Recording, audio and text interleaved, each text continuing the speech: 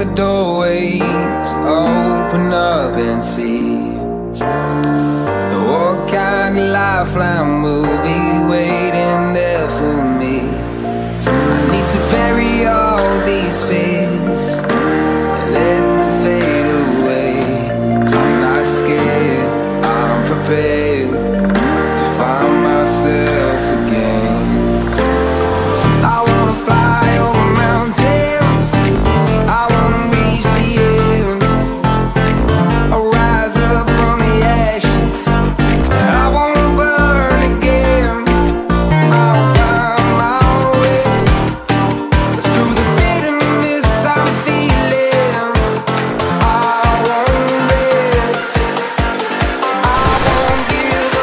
I'm still healing